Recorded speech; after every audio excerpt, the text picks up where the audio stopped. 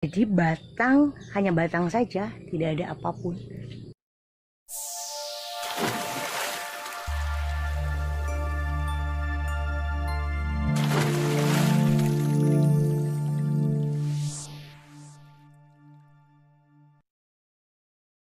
Halo, selamat pagi.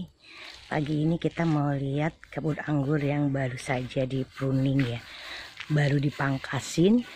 Kemarin yang buahnya sebegitu lebat, sekarang tara gundul.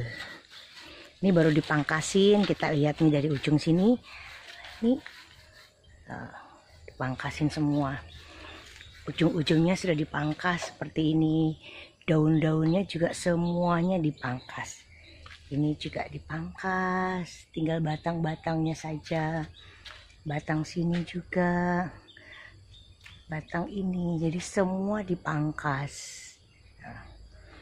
Kemarin full kan? Nah, ini juga. Ini dipangkas sampai sini. Antar ini juga nih dipangkas semua. Hmm, semua dipangkas. Ujung-ujungnya semua dipangkas, daun dan ujungnya juga. Hmm.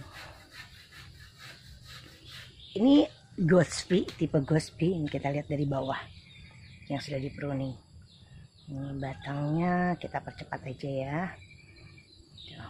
Batang sampai sini pangkas semua. Sebelah sini juga pangkas semua. Hmm. Semuanya dipangkas. Jadi batang hanya batang saja, tidak ada apa pun. Ini sama. Kita putar. Nah. Tinggal batang-batang saja. Semuanya.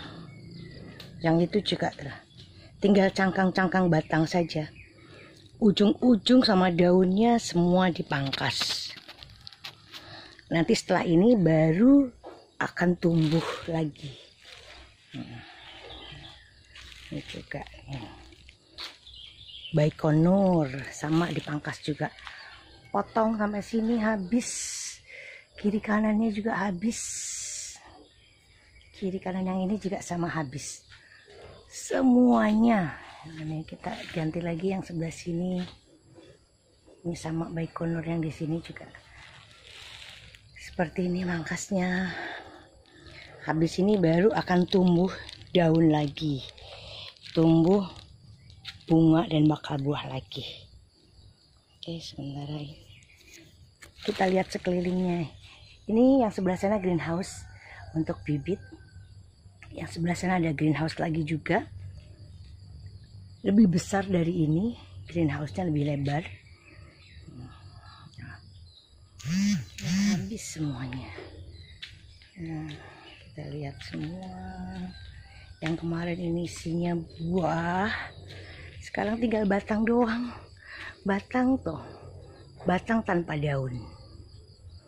Habis ini akan tumbuh lagi. Ini jenis yang paldun melilit